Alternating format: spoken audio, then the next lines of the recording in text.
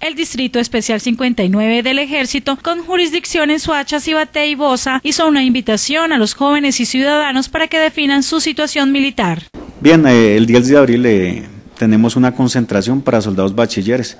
Entonces todos aquellos todos los ciudadanos que estén inscritos eh, sepan que deben presentarse el 10 de abril eh, como soldados bachilleres o para ingresar como soldados bachilleres o en su defecto para definir situación militar, quiero invitarlos para que se acerquen el día 10 de abril a partir de las 6 de la mañana en el Estadio Soacha e iniciemos con todo el procedimiento. El uniformado resaltó la gran acogida que ha tenido en el 2012 la campaña que lidera el ejército. Los ciudadanos han sido muy receptivos con esta campaña, pues han aumentado la entrega de libretas militares, las inscripciones por, parte del personal de ciudadanos, eh, ya sea los que no son bachilleres o los que son bachilleres, entonces considero que ha sido bastante buena la campaña que hemos generado.